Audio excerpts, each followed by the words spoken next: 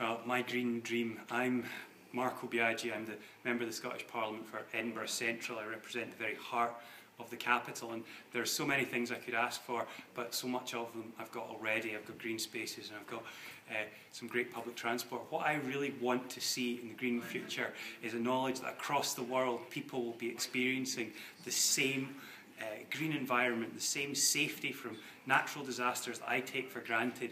And I want to live in a world where my actions are not contributing to any kind of destruction for the rest of the world because we are all one people on the earth and we all deserve uh, an environment that we can live in with peace and happiness.